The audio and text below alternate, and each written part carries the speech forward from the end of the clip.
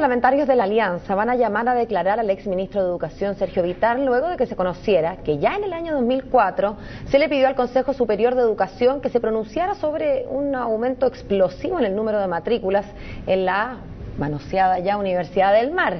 Queremos conocer más detalles y para eso nos acompaña el jefe de la bancada de los diputados de la UDI, Gustavo Asbun. Buen día, diputado. Muy buenos días, ¿cómo está? Bien, pues, ¿usted quiere llamar entonces de los que le parece bien llamar al señor Vitar? Mira, no solo me parece que es lo que tenemos que hacer, sino que además eh, aquí hay un tema no menor. A mí me preguntaría, uno se preguntaría y le gustaría que los diputados de la concertación que han eh, eh, liderado esta acusación constitucional que, digan ahora qué es lo que piensan de que el único ministro que ha fiscalizado, que tuvo la voluntad y la valentía de, hacer cumplir la ley fue Beyer y no el resto. O sea, aquí ha quedado claramente demostrado eh, que los eh, eh, ministros de la concertación sencillamente hicieron vista gorda o, se escudaban en que no tenían atribuciones para no cerrar universidades y en este caso está la prueba fehaciente que el caso de la Universidad del Mar teniendo los antecedentes sobre la mano, se tomó la determinación de mantenerla. Y eso no solo el caso de la Universidad del Mar, sino hay muchas eh, vinculadas a los partidos de la concertación, como el caso del UNIAC, que el año 2010 estuvimos una comisión investigadora porque hubo un fraude al fisco por más de 20 mil millones de pesos por la beca Palech, eh, universidad que jamás fue fiscalizada en el periodo de la concertación eh, y que obviamente ha sido este gobierno quien está haciendo un proceso de revisión completa de esa universidad eh, además eh, quitándole la, acreditación. Pero diputado, hagamos, adelantémonos. Suponiendo, suponiendo, digo, que quedara demostrado que el ministro Vitar no fiscalizó debiendo haberlo hecho, suponiendo que eso fuera así. Y entonces quedamos empatados con el, con el ministro Harald Beyer, porque finalmente sabemos que el ministro ha hecho algunas cosas, pero sabemos que ha omitido varias otras. Por lo pronto nunca se ha dicho nada sobre el lucro en la Universidad del Mar, nunca se dijo nada. Mira, es que lo que pasa es que eh, primero tenemos que separar las cosas. Aquí jamás y nosotros no buscamos la teoría del empate.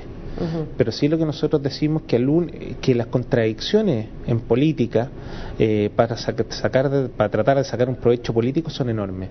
Aquí hay diputados que se le han dado verdaderos fiscalizadores cuando les conviene pero resulta que los mismos. A mí me gustaría saber si el diputado Rodrigo González él eh, va a levantar la voz, va a decir algo con respecto al, al exministro Vitar o hacer lo mismo contra eh, Silich eh, o Yana Proboste o la exministra Jiménez, que también tuvieron las mismas atribuciones. Si aquí lo que nosotros decimos es Beyer ha sido uno de los pocos ministros que es realmente, o el único ministro que ha tenido la valentía de poder fiscalizar estas universidades. Entonces la pregunta es, al único ministro que ha tenido la voluntad, que ha tenido la disposición, tú hoy día lo empiezas a cuestionar, la pregunta es qué hay detrás.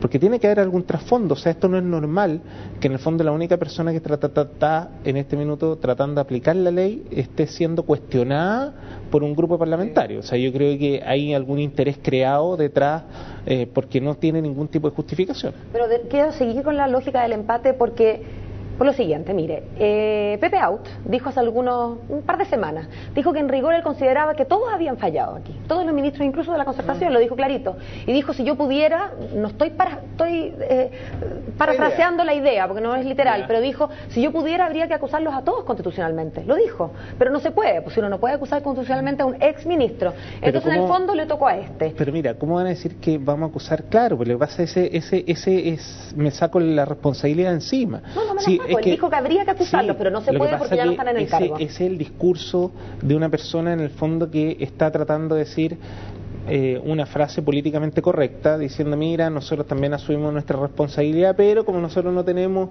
eh, en este caso, eh, responsabilidad política, no estamos sujetos a una acusación constitucional. Mira, la pregunta es ¿por qué no levantaron la voz antes? Si el tema es otro. Pero, pero diputado, si no la levantaron antes, ¿por qué no la vamos a levantar ahora? Pero que nadie dice que no la levantemos ahora. Lo que nosotros estamos diciendo es que Harold Bayer ha sido el único ministro que realmente ha fiscalizado, que es totalmente distinto. Y el mejor ejemplo, te insisto, el mejor ejemplo, no solo la Universidad del Mar, la Universidad Pedro Valdivia, la Universidad UNIAC. Usted me da el mejor ejemplo, pero yo le repito el peor ejemplo. ¿Por qué no se habló nunca de lucro por parte del Ministerio en la Universidad del Mar? Cuando ya sabemos que lucro era una de, las de, lo, de, lo, mínimo que hacían. se, está, se fiscalizó y se, y se cerró la universidad. Pero, diputado. Pero escúchame, es que, es que, a ver, muchas veces ¿Tú te acuerdas en el fondo Capone por qué fue por evasión tributaria? Sí, sí, es, el, es el tema, si aquí da lo mismo cuando tú encuentras la manera de sancionar a quien esté incumpliendo con la ley, ese es el tema. Si aquí, así como nosotros teníamos la facultad y la aplicó Beyer, ¿por qué el resto no la hizo? Peligrosa declaración, diputado, sí, está pasa? No, no, no. Esto de que da lo mismo el delito, la cosa es meterlo no, preso. No, no, no. Es que aquí se está incumpliendo la ley y se está incumpliendo la ley de distintos puntos de vista. O sea, aquí se está incumpliendo la ley desde el punto de vista tributario, desde el punto de vista de la educación, desde el punto de vista del lucro, o sea, de la calidad. De la calidad pero resulta que la agarraron de una arista. Eso no significa con que el resto esté bien. Lo que pasa es que la agarraron de esa y obviamente fue por eso que fue clausurada. Eso no significa con que no haya lucrado, eso no significa con que haya respetado el resto de la normativa legal vigente. Lo que nosotros estamos diciendo es que se agarró a la universidad, a lo mejor no se agarró lo que todos querían, pero obviamente hoy día está siendo clausurada por una serie de irregularidades. Entre ellas también está el lucro. Si lo que pasa es que, claro, a lo mejor no es eh, eh, la, la, la, el argumento más de fondo, pero es parte eh, de, del sustento que tiene en el fondo el, la acusación y el posterior cierre de la universidad. Pero, diputado, siendo bien sincero, a ver, aquí esto se ha hecho porque el ministro Beyer lo trae dentro de su espíritu como persona y como ministro de Educación o simplemente porque la presión social a nivel de investigaciones de medios de comunicación, la presión social a través de las universidades, a través del Consejo de Acreditación, de una serie de instancias ya dejaron de ver de que aquí esta cuestión no daba más que fue lo que no ocurrió, en el año 2004, en el año 2005, en el año 2006, donde el silencio abundaba y abundaba en los medios, abundaba en un montón de áreas y donde si esto podría haber pasado desapercibido, pasaba. En ese sentido ahora, el ministro, él sacó la voz porque resulta que él lo traía como convicción cuando él asumió el ministerio o porque ya no le quedó otra que empezar a investigar. Mira, yo creo que es por convicción. Yo al ministro Bayer no lo conozco tanto, no, no, no podría emitir un juicio de valor en relación a su persona pero sí creo que él ha cumplido un rol importante en materia de fiscalización, porque no solo lo ha hecho con, eh, las universidades eh, privadas, sino también con los CFT, con los centros de formación técnica, con los institutos profesionales, también con los colegios particulares subvencionados. Eh, mira, yo creo que aquí las intenciones del ministro han sido claramente aplicar el máximo rigor de la ley y hacerla respetar. Eh, y el mejor ejemplo, no solo te insisto, ha sido la Universidad del Mar, sino que también ha estado fiscalizando una serie de otros establecimientos, cosa que nadie antes hacía. Eh, muchos, inclusive, eh, gente de nuestro propio sector decía porque no queríamos poner en jaque el sistema de, educación privada en Chile. Y, y, a lo mejor por eso muchos no se atrevían a hacerlo. Pero aquí había una decisión, más que política, una decisión personal del ministro pero por último, pero en ese no se atrevían, y, eso, y eso es lo que molesta. Pero en ese no se atrevían, ¿podría entrar, por ejemplo, el exministro Vitar? Pero por supuesto, pues. ¿Usted cree que no se atrevió? Pero no solo no se atrevió, yo creo que actuó con una negligencia inexcusable. Y el mejor ejemplo de ello no es solo el caso de, del exministro Vitar, sino cuántas universidades han proliferado o proliferaron en ese tiempo o durante esa época. Universidades que fueron cuestionadas, la República. ¿Y usted tenía antecedentes de eso antes? como parlamentario? Es que en mi caso asumí el año 2010, pero, pero desde el año... Pero de lo que usted sabía. Pero por supuesto, desde el año... ¿Por qué no se denunció por parte de los parlamentarios también, desde el año 2010, desde que a mí me tocó asumir, fuimos, de hecho, nosotros solicitamos la comisión investigadora en, contra de la Universidad UNIAC eh, por, la, por el fraude y se destapó un fraude de 20 mil millones de pesos en la PECA College. O sea, nosotros estuvimos en un proceso de fiscalización. Eh, posteriormente me tocó estar en, en, la comisión investigadora de, del lucro. Por lo tanto, nosotros hemos estado trabajando... en contra.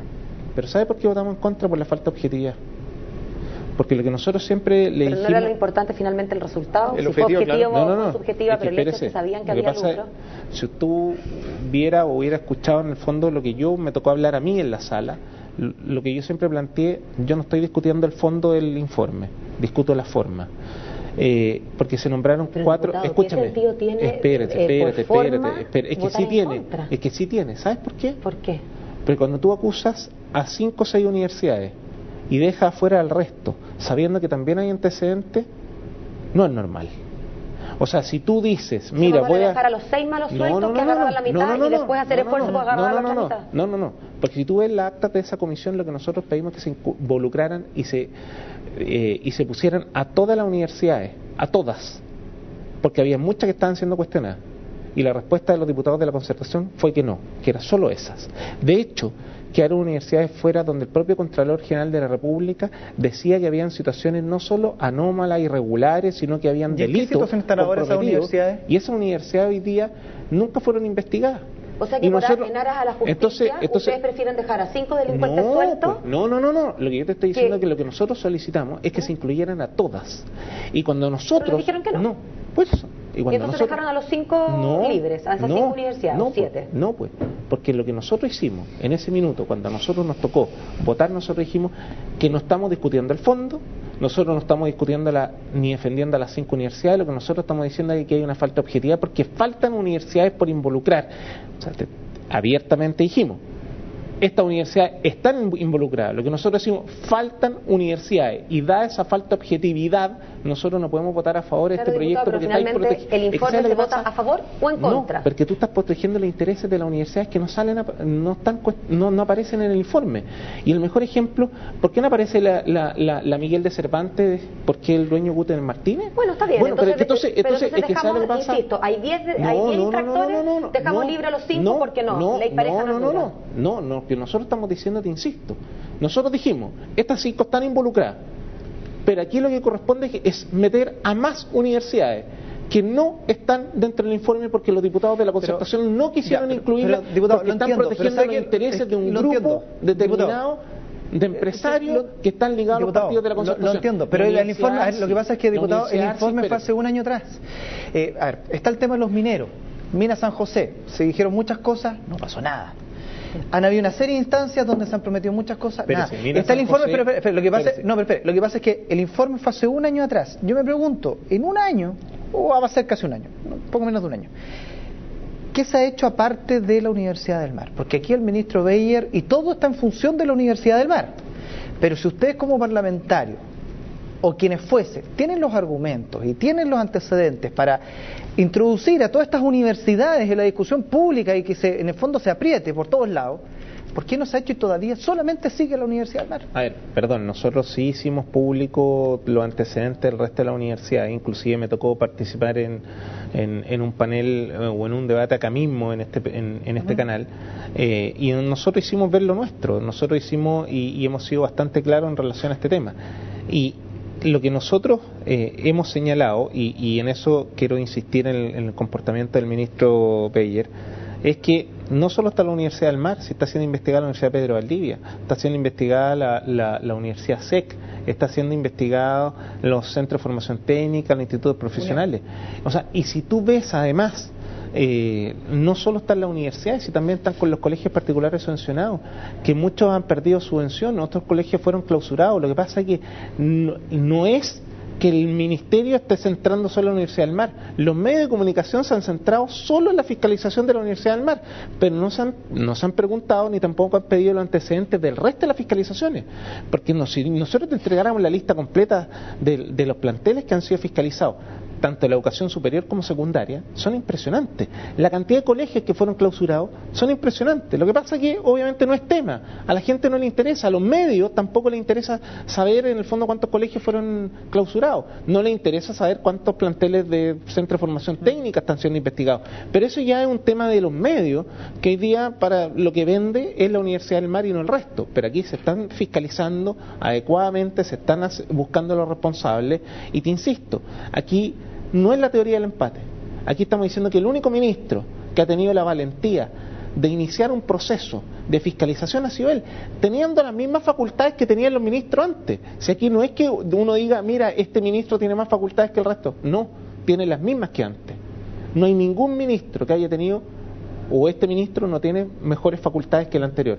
Por lo tanto, aquí el tema que es el único que está tratando de aplicar la ley. Y esa es la gran diferencia. Y lo que uno cuestiona, y lo que uno dice, es cómo si algunos parlamentarios que dicen que protegen eh, o que están dispuestos en el fondo a, defender a los estudiantes, ¿por qué no fiscalizaron antes? Yo no era parlamentario antes, yo no puedo decir en el fondo del año 2004 si tenía los antecedentes y era alcalde de Estación Central, pero sí te puedo decir en el fondo que la responsabilidad era de los parlamentarios de la época, pero esos mismos parlamentarios hoy día hacen vista gorda. ¿Por qué los parlamentarios dicen eh, incluimos a cinco universidades cuando saben que tenemos problemas con otras universidades que vamos a tener problemas?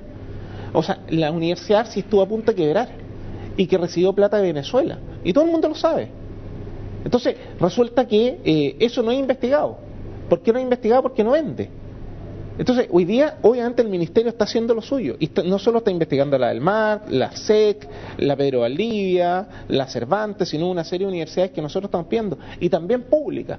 Porque aquí hay gente que a, las personas se le olvida el fraude de la UTEM.